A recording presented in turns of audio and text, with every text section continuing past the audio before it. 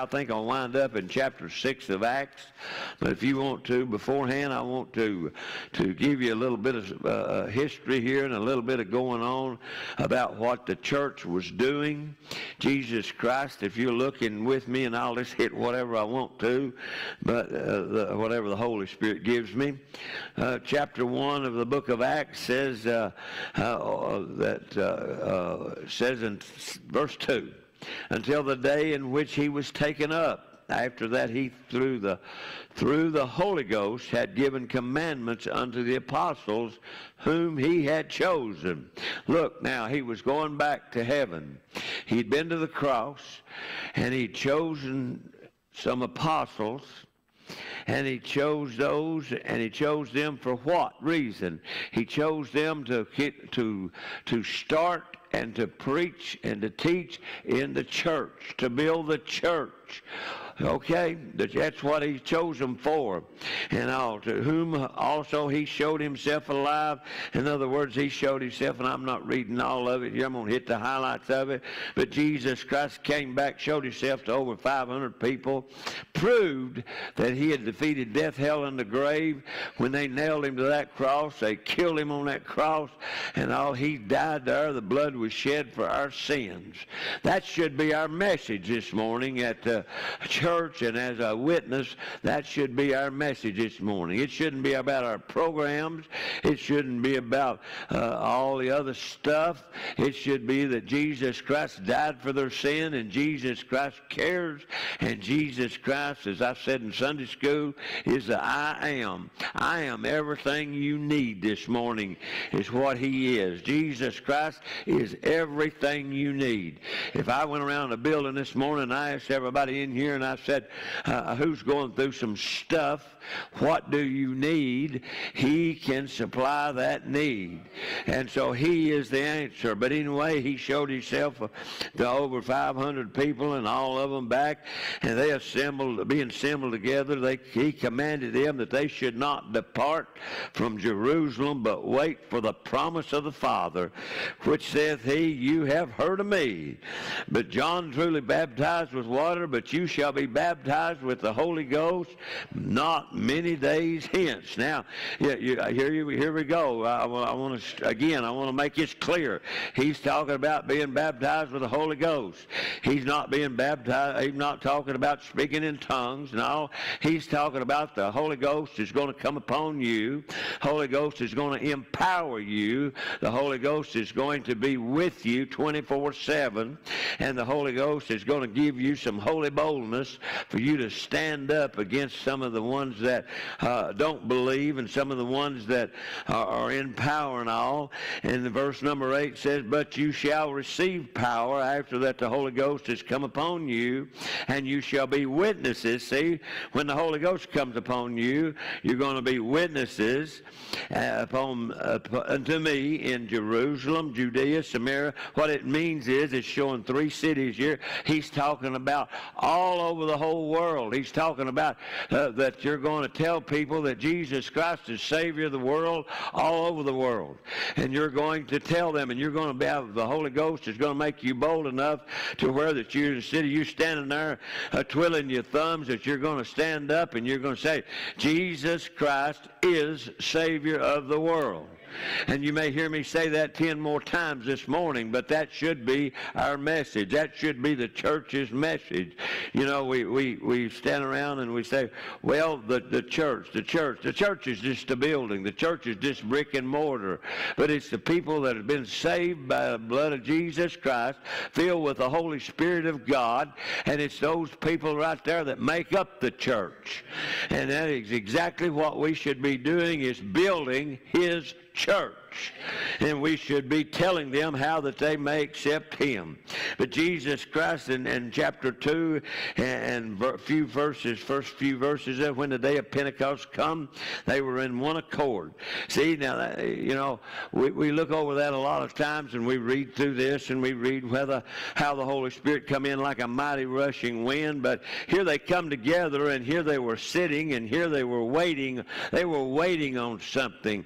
This morning, if we could just all come into his house this morning and we could sit here in one accord. Did you get it, what it said? In one accord instead of everybody be pulling every different direction, everybody be thinking about doing something a different way, but in one accord when we, uh, when we come into his house, when the, when the uh, Holy Spirit came in, it came in like a mighty rushing wind, and they were filled with the Holy Ghost, and they did begin to speak in other tongues. What he's talking about there, they began to speak in tongues, but they everybody understood exactly what the other person was saying.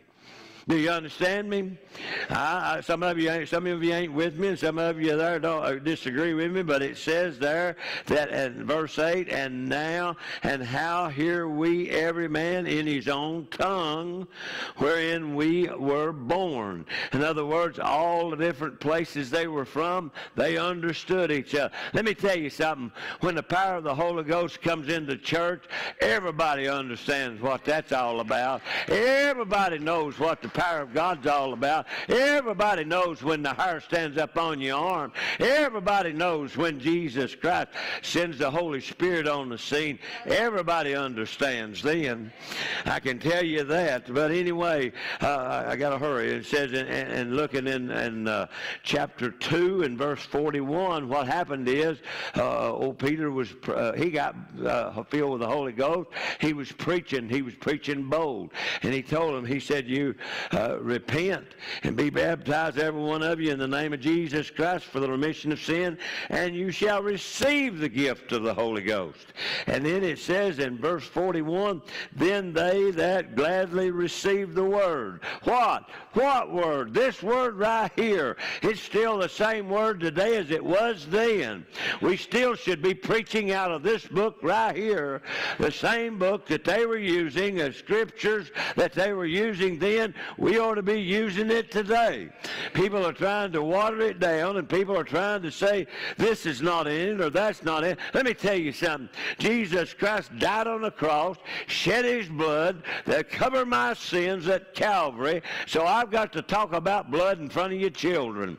There is a place called heaven, and there is a place called hell. So I've got to tell your children that there is a place called hell.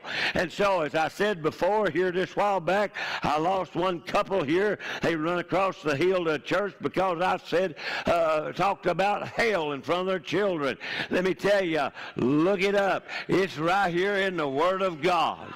And that's where you're going to go if you don't accept Jesus Christ as Lord and Savior. I'm sorry, but it's, uh, I'm sorry for having to tell it to you, but I'm not sorry for preaching the Word of God to you. Because the Word of God will set you free this morning. The Word of God will take you from the uh, utter, uh, guttermost to the uttermost. So here he's telling them, he says, and they gladly received the Word.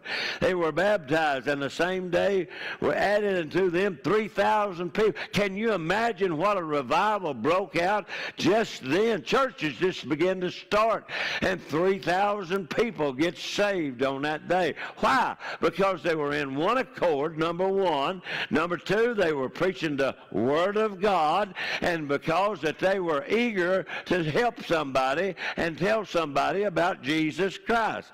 And you know what, church? It ain't changed any. It's the same today as it was then.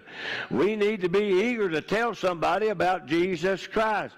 Verse 47 says in chapter 2, praising God and having favor with all people. Some of you, sometimes when we're praising God, and some of them in the, whether it be songs or whether it be praising Him in the preaching, the teaching, or whatever the case might be, some of you look like, oh, I don't know about this stuff. I don't know about that. Well, I got news for you. They were praising God. And I don't believe they were doing it quietly. I don't believe they were just running around going, Praise the Lord. I don't believe that was what was happening. I believe they were saying, uh, uh, Praise the Lord, shouting all over the place and all, no junk. They was filled with the Holy Holy Spirit and they had to let it out there. And that's exactly what we need to do today. If the Lord has set you free, the Lord has done something for you, you need to praise Him. Now, if He ain't done anything for you, sit there like a knot on the log. But if He's uh, if He's done something, if He's delivered you, if He set you free, if He saved you, praise Him this morning. When you hear the praise and worship, uh, uh, uh, music and all, praise Him this morning. Don't sit there. Let me tell you something. A lot of churches, ours, we have great music. We have great fellowship. We have a great church. I don't care what the devil says. We have a great church. But I'm here to tell you this morning, you can take a handful of naysayers and you can just absolutely stall out a good church because of a handful of naysayers or because the devil wants to steal, kill, and destroy, and he'll wiggle his way in some way or another. And you know what? Uh, of course, that, I'll, I'll, preach about that in just a minute. But you know what?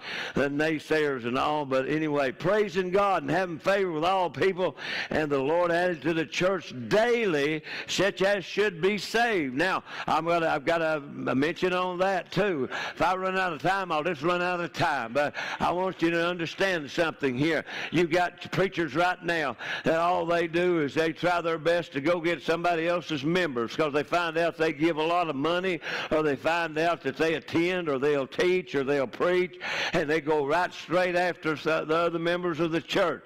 That is not what the church was set up to be. The church was set up to be praising God, having favor with all people, and the Lord added to the church daily such as should be saved. Church, we, our job is to get people saved. Now, if you got somebody that's not in church, yes, we take them in. Yes, we want them. But just deliberately go because somebody gives a lot of money or somebody does a lot of singing or does a lot of things in the church to deliberately go after them, seeking to try your best to pull them away. I've done already figured that out in, my years of ministry. I've figured that out. If somebody can pull them away from there, somebody can pull them away from here. Amen. If they're following somebody. But we're to, we're to tell people how to be saved. Building a church is one at a time. Just like, like I said there Wednesday uh, or Friday night there, one little girl, you say, well, preacher, she's not here this morning. No, but I bet you one thing, she'll be here on Wednesday night to use Rock. She'll be right there in her class. She'll be right there in her seat. And I don't know, I don't don't know, and it's okay with me, but I would say that probably that I'll end up being uh, fortunate enough to baptize her. Amen. And so you know what? Tell them to get saved and tell them how to be saved and showing them the Word of God and showing them love and kindness and all. And that's exactly what it's all about. That they should be saved, saved saved and, all. And so, and, and there's more, more and more, and before I ever get to the scripture, I haven't read scripture yet, but uh, uh, look, look with me, look with me right quick, if you would, in, in, uh, in chapter 4. Chapter 4, in verse number 4, uh, says that, um, I got to find it, verse 4, how about many of them which heard the word believed? See, again, it goes back to hearing the word of God. And, you know, a lot of preachers, and I, I'll just add this in too while I'm, while I've got you so uh, so excited about it. Uh, a lot of preachers and all they won't read the Word of God. I've got two or three stories to read you this morning if I can get to them. But stories will not save you. The Word of God will save you. Stories and and and telling. And I listened to one preacher the other day, and I thought, man, I'm just going to listen to this and see how far he goes with this. And you know what he done? He was talking all about what he had accomplished. All all about what he had done and all about the college he went to and all about his family. Well, that's all great and that's all good, but I'm here to tell you this morning, you start talking that stuff and you're not going to see anybody get saved or born again in the church. The Bible says it takes the word of God that they be saved. You're sitting here this morning because somebody shared the word of God with you. You're sitting here because somebody shared the word of God with you. But 4 4 says, How about many of them which heard the word believed? And the number of the men was about 5,000. Well, what are we talking about here? Here we go. I, I can count pretty good. There was 3,000 over here now we got 5,000 over here, and, and uh, so uh, you can add up all these at these different places right here. The church has grown now from just a 120 meeting in one room over here in one accord.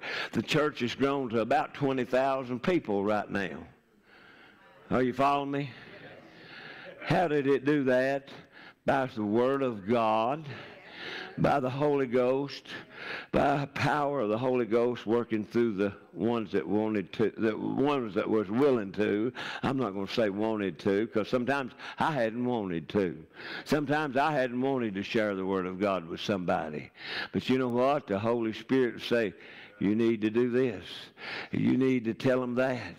And you need to tell them the truth and tell them the Word of God. Nevertheless, moving right along. Now look, during this period of time.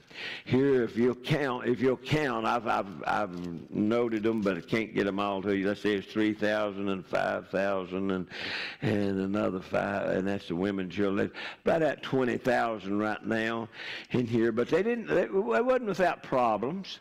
I want you to get that. They wasn't without problems. Everything wasn't hunky-dory.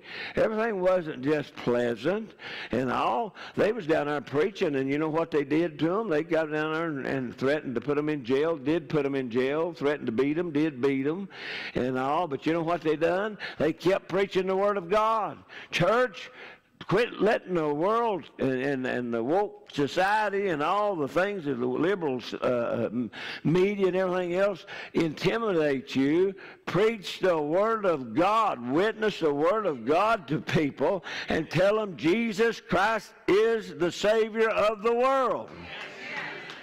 Quit letting, quit letting the, the world dictate as to what your message is. We even had, had a big revival break out in chapter 4. And when it did, they, they prayed. And he's talking about 31, verse 31. I'm just still taking the verses leading up to where I'm going. It says, And when they had prayed, the place was shaken. It's verse 31 of chapter 4. When they had prayed, the place was shaken where they were assembled together. And they were all filled with the Holy Ghost, and they spake the word of God with boldness. Oh, my God, this morning I would love nothing more than everybody here this morning be right in the spirit of Almighty God. And when we come to pray, did you see what it says? And when they had prayed now, it wasn't reading the Word of God, it's they prayed. They prayed a prayer believing Jesus Christ was going to answer their prayer. They come in and when they got through praying, the place began to shake here and they was all filled with the Holy Ghost and that made them that much more bolder to speak the Word of God. Church, things haven't changed. He says, I'm the same yesterday, today, and forevermore. I change not. So listen, if you want to get in a good, you say, well, preacher, I'd like to get in a good old Holy Ghost revival meeting. I, I'd like to be in one. Well, get your heart right, get in the Word of God and pray, and you'll get in one. Amen. Amen. I knew that'd go well. But get in one. But then you have people, you have people like in chapter 5 with Ananias and Sapphira. They, they, they thought, you know, well, listen, uh, I got a little bit more for my property than what I thought because they were, what they were doing was they didn't make them. They was what they were doing was that they had had a, they had had a meeting and the great power of the apostle witnesses the resurrection of Jesus Christ, and great grace was upon them, and neither of them lacked because what they done they sold their possessions, and everybody had everything that they needed. Everything was provided. You say, preacher, are you telling me I've got to sell everything and I've got to get rid of everything I got and give it to the church? Yeah, yeah, yeah, do that. All of you go sell your houses and, and your cars and everything. Bring your money in here and put it in the, put it in the offering plate. That's what some preachers will tell you. That's what some will tell you. That's not what that message is about right there. They gave, they gave to the ministry of the church. They gave. Now, if you feel led, as, as, uh, as uh, some of them did, if you feel led to do so, I told you before, and I'll tell you again, I've had two people be led to hand me a check for $25,000. And if you feel led, knock yourself out. We need it. We can use it. But he don't ask you for that. He asks you to be bold, read the Word of God, pray, and worship in spirit and truth, and give to the ministry. And when and when you say give, you, uh, you know the, the, the rule is you ten percent is your tithes, and anything over that's your offerings. That's up to you. You never hear me preach about that, and the reason you don't is I always say this part about that. I say if the Lord saved you, if He drug you out of a, uh, out of a hellhole and saved you, then you ought to think enough of Him. And if you'll get in the Word of God, you're going to read that where you should give back to Him. It says, "Give, and it shall be given to shaking down, pressed down, shaken together, running over."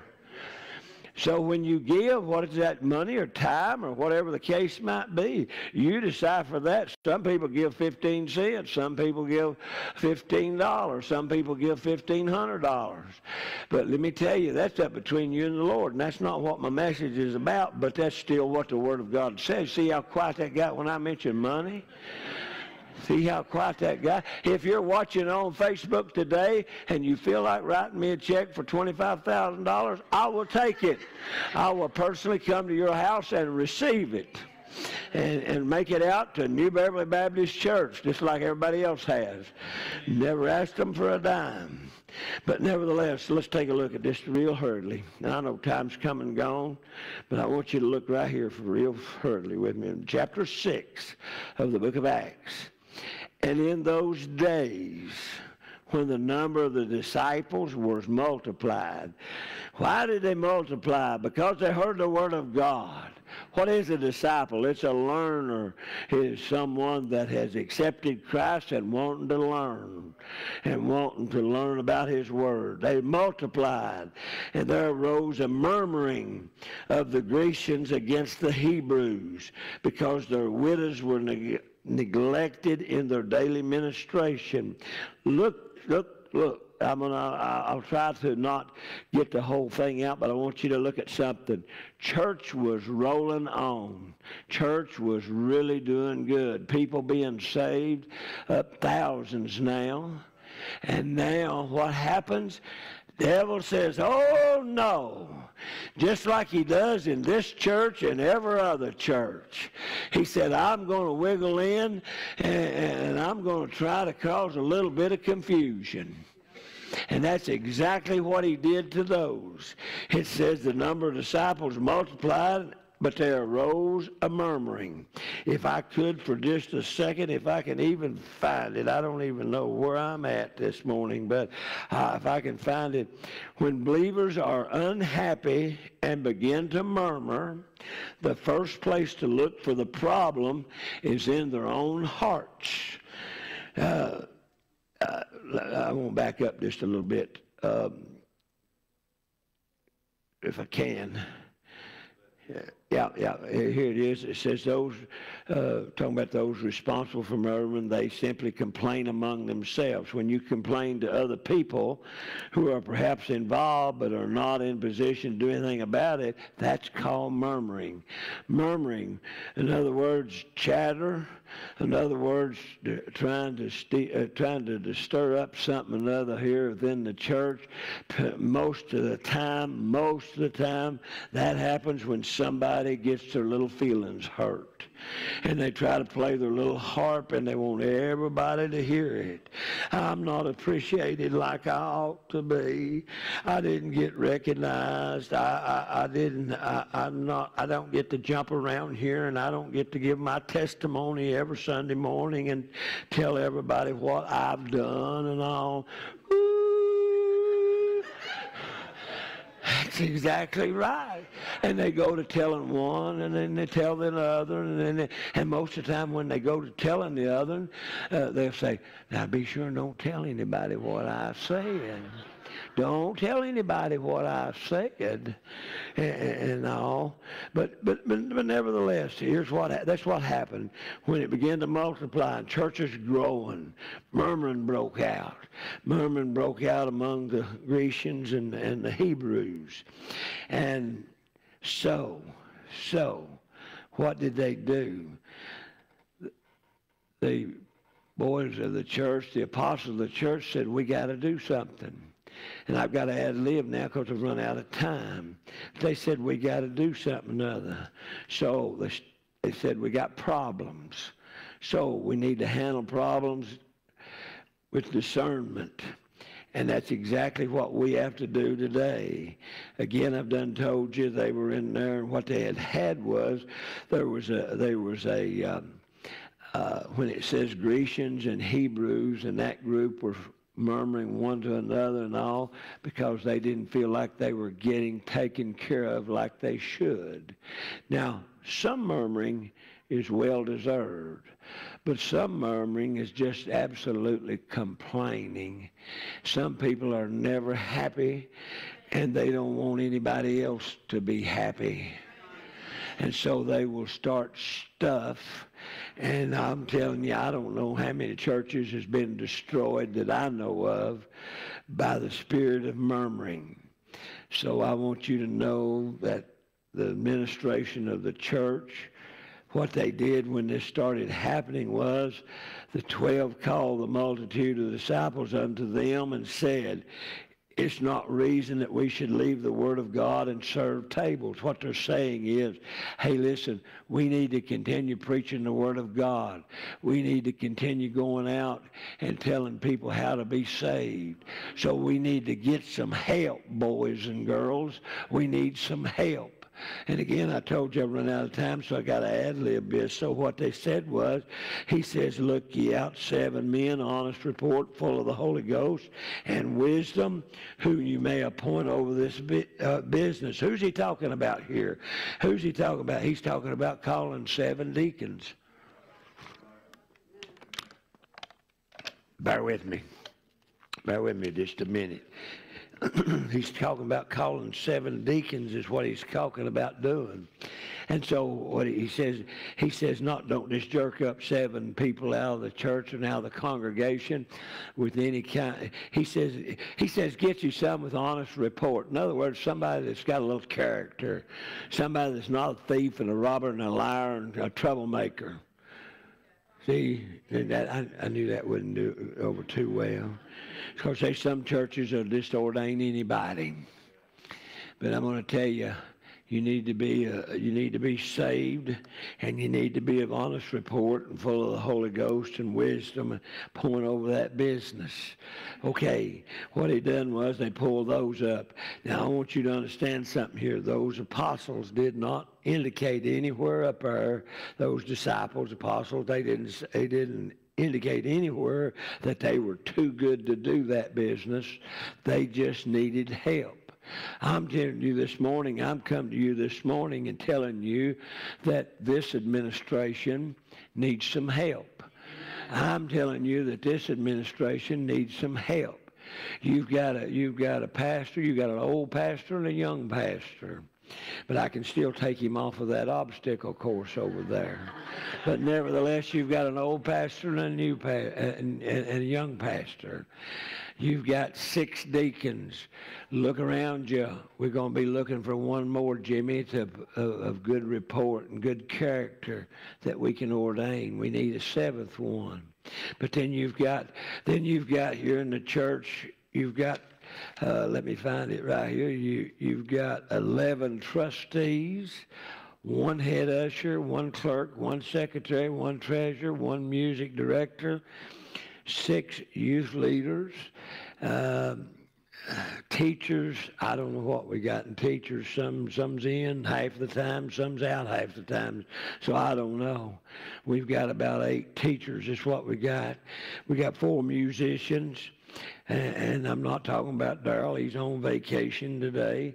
But then we've got prayer warriors. We got van drivers. We need got two, need two more.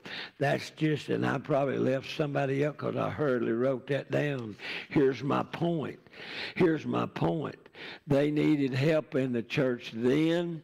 The church needs help today. The church needs help today. But I would say this, if everybody that I just called off right hurriedly and right quick would just simply do their job without whining and belly aching and show up and do it, I'm telling you, you'll see a difference in your congregation. You'll see a difference in your uh, people being saved, healed, delivered, and set free because they're going to get encouraged and they're going to invite somebody and try to get people into your church. And when you get people into your church that are lost, the main, main thing is to see that they get saved. But if you get people that are addicted or uh, people that are going through some stuff and needs to be delivered, Jesus Christ is the one that can deliver them. But you know what? It goes right back to the initial point. It goes back to the Word of God and prayer. It ain't nothing that the preachers can do, and it ain't nothing that the deacons can do, but it's through the power of the Holy Ghost working in your church, power of the Holy Ghost tugging them hearts and saying, hey, you need to be saved. You need to repent. You need to do this or do that. That's where it is. And when you are in the power of worship and praise and boldness, guess what? That Holy Spirit will be strong all over the house. Lost can't set in among us can't sit among us. I'll give you an example, and she's here this morning, and I'm not trying to embarrass her, but I'll give you an example. Uh, Junior Smith sat under the preaching, my preaching, for like five, let's say like seven years. But one Wednesday night, what happened? The Holy Spirit drew. He said, I got to get saved. Here's, here's my example, though. What if there been nobody here to, to tell him about Jesus, how he could uh, be saved? That's the problem we're having right now. People are not interested. People are not caring. And I, I, really don't like using the word not caring, but they really are not interested. They're too busy. Let me put it that way. They're too busy. Folks, we need to slow down and we need to care about these folks that it needs to be, that needs something from Jesus. If I could read to you, and I'm on close. Wherefore, brethren, look ye out seven men, honest report, full of Holy Ghost and wisdom, whom we may appoint over the business. But we will give ourselves, we're going to give ourselves, next, again talking about the disciples we're going to give ourselves continually to prayer and to the ministry of the word. Two things, catch it. They're going to pray and they're going to preach, teach the word of God and study. Bible says to study show thyself approved, rightly dividing the word of God. If you don't know what you're talking about, you do need to keep your mouth shut because you'll confuse somebody. You will confuse somebody. If you don't know how to lead somebody to Christ, move aside and let somebody else do it. But, and, and the saying pleased the whole multitude. And they chose Stephen. And of course, they chose the seven. But I want you to check uh, uh, what I just read to you. And the saying that they were going to do that pleased the whole multitude. Church, Going back to the word I started with there in one accord. We need to be well pleased in one accord, praying, preaching, teaching God's word, and people handling the business of the church. And when I say the business of the church, you know, I'm not telling you that you've got to, to, to, to work your bottom off, but I'm telling you that God has called you to do something. He has not called you to be the pastor or assistant pastor. If he has, let me see your hand. I'm going to give you my job. Brandon's going to keep his, but I'm going to give you my job if he's called you to be the pastor. But not everybody can be the pastor. See, some people get mad about that. They say, "Oh, the pastor, he's got it so easy. He just lays around, does nothing, he don't do he don't do nothing. He lays around." Well, that's partly true. I do lay around a lot, but I get a lot done even laying around. But you know what? We all have a job to do. It's kind of like over when it's talking about the vine and when it's talking about as I was Sunday school this morning, we all have something to do to build the kingdom of God. If you've been saved. Now whether you use that here or not, I don't that's up to you. I would love to have you to because again, we need your help. And you say, well, you don't have a position for me, preacher. Well, we'll make one. We'll make one. I'll make you a position. Whatever you want to be, I'll make you one. But not just to lay around, do nothing, and tell other people what to do and murmur about what they do and, and fuss and complain about how they done it. We got enough of that. We need people that are, are concerned about seeing the lost saved. This church that I read about this morning Girls, you can come on. This church I read about this morning had the Word of God at heart. I want to close with this, and I left out two thirds. Man, I shouldn't even have wasted my ink printing that out. Verse number seven of chapter six says this And the Word of God, the Word of God increased and the number of disciples multiplied in Jerusalem greatly. And a great company of the priests were obedient to the faith. Now let me explain that to you. The church grew some more through the Word of God. The number of disciples or people that got saved increased. But even the folks of the church, talking about the priest, they were obedient to the faith. This morning, if I can accomplish anything in this beat up message, I need some of you folks that has a position, some of you folks that want a position, some of you folks that has a desire to do something to make a difference in your church, I need you to be obedient to the faith. I need you to be obedient to the Word of God. Everybody has a job to do. But let me tell you, one person can't do everybody's job. what usually happens at that 90-10 rule of the church, 90% do nothing, 10% do it all. They get burnt out.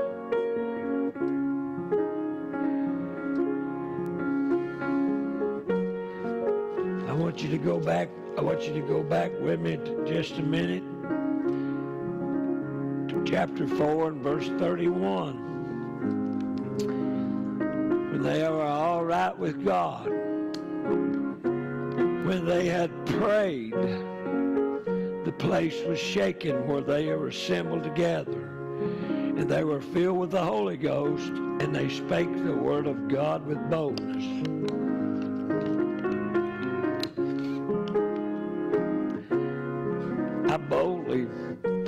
I boldly stand here and proclaim to you, this is the word of God. That's the little thing that John Osteen used to always open up with. This is my Bible. I am what it says I am. I can do what it says I can do. Today I will be taught the Word of God. I boldly confess. My mind is alert. My heart is receptive. I will never, never, never be the same. If we could walk in here and say, I'm centered on God's Word and I believe God's Word by faith this morning, the devil would have to run and hide somewhere. he would have to run and.